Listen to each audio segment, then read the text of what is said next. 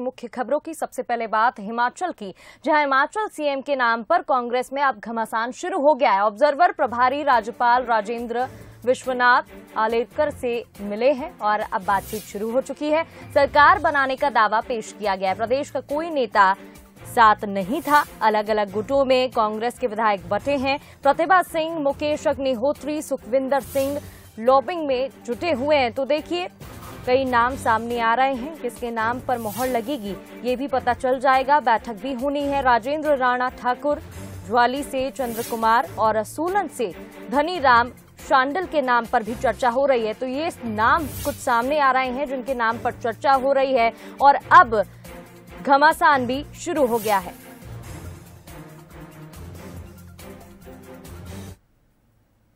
हमारे ऑब्जर्वर्स जो है वो हिमाचल आ रहे हैं, भूपेंद्र सिंह हुड्डा जी, भूपेश बघेल जी, राजीव शुक्ला जी और सब वरिष्ठ नेता आ रहे हैं और वो विधायक दल के साथ बैठक करेंगे। हमारी पार्टी एक लोकतांत्रिक पार्टी है और विधायक दल के साथ चर्चा की जाएगी। विधायक दल की जो सहमति और बहुमत की सहमति होगी, उसको, उस विचारों को ऑब्जर्वर सुनेंगे, उसे हाईकमांड तक और चलिए इस खबर पर अधिक विश्लेषण के लिए हमारे साथ न्यूज़ हेड शरद द्विवेदी जी जुड़ गए उनसे बातचीत कर लेते हैं।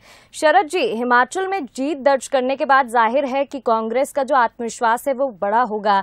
लेकिन अब नई चुनौती है सीएम का चुनाव करना और ऐसे में ये कितना अहम होने वाला है? क्योंकि हमेशा से कांग्रेस पर यह आरोप लगता है कि वो दो गुटों में बटी रहती है। जी। देखिए, सबसे इम्पोर्टेंट बात यह है कि कांग्रेस ने वहाँ पर कोई भी चेहरा मुख्यमंत्री पद का घोषित किए बिना चुनाव लड़ा है। क्योंकि कई बार चेहरा घोषित करने के नुकसान भी हैं और फ़ायदे भी हैं। लेकिन कांग्रेस की जिस तरह की परिस्थितियाँ रही तो उसने सही निर्णय किया और उसका फ़ायदा भी मिला।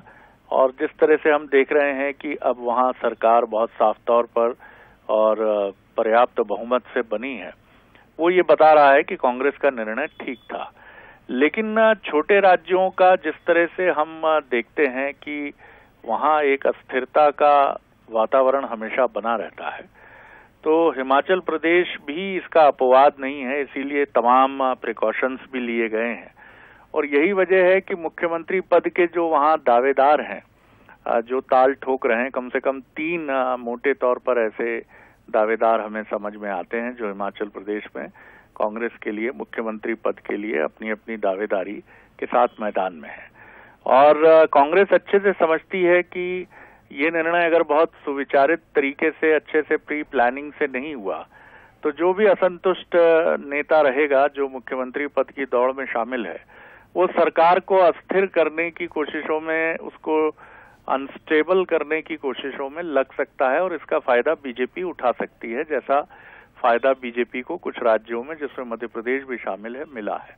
तो कांग्रेस के लिए ये सबसे बड़ी एक्सरसाइज है कि वहाँ वो तमाम धड़ों को साधे उनको एक साथ लेकर चले। और इसके लिए तमाम जो भी क्योंकि राहुल गांधी इस समय यात्रा में व्यस्त हैं और उनका पूरा फोकस अपनी यात्रा पर है सोनिया गांधी अब सक्रिय राजनीति से मैं ये नहीं कहूँगा दूर हैं लेकिन आ, उनका अब उस तरह का दखल नहीं है। प्रियंका और प्रभारी जो छत्तीसगढ़ के मुख्यमंत्री हैं भूपेश बघेल जी की ये बड़ी ज़िम्मेदारी है। और मुझे लगता है कि सरकार बनने से कहीं अधिक ये महत्वपूर्ण मुद्दा है वहाँ।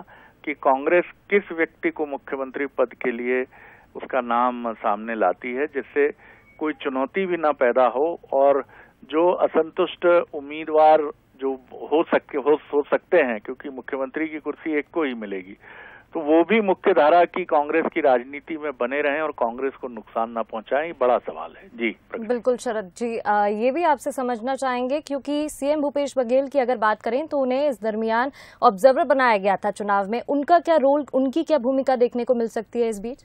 सबसे महत्वपूर्ण भूमिका उन्हीं की है क्योंकि तमाम जो लीडर्स अपनी अपनी दावेदारी कर रहे हैं उनसे बंद कमरों में प्रभारी ही बात करता है और उनके मंतव्य को समझता है और उन्हें समझाता है। तो सबसे महत्वपूर्ण भूमिका इस समय भूपेश बघेल जी की है। राजनीति में उनका कद बढ़ा है। जिस तरह से हिमाचल प्रदेश में कांग्रेस की सरकार बनी है।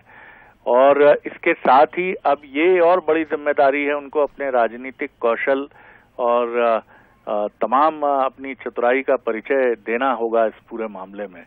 क्योंकि जिस तरह की खबरें सामने आ रही हैं कि अभी प्रतिभा सिंह के समर्थन में वहाँ नारेबाजी भी हुई है। कार्यकर्ताओं ने वहाँ हंगामा भी किया है और प्रतिभा सिंह को वो सीएम बनाने की मांग कर रहे हैं।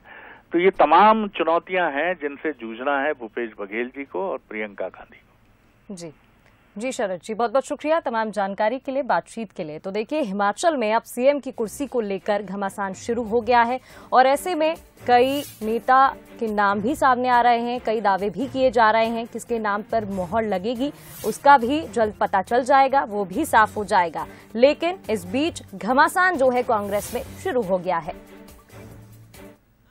ये चुनाव हमने वीरभद्र सिंह जी के नाम पे जीता है।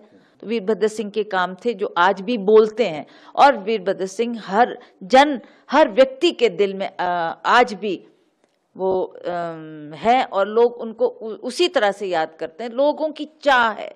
लोग चाहते हैं कि ये जो वीरभद्र सिंह जी ने काम किया उनकी फैमिली क्यों नहीं कर सकती? की बात हाँ।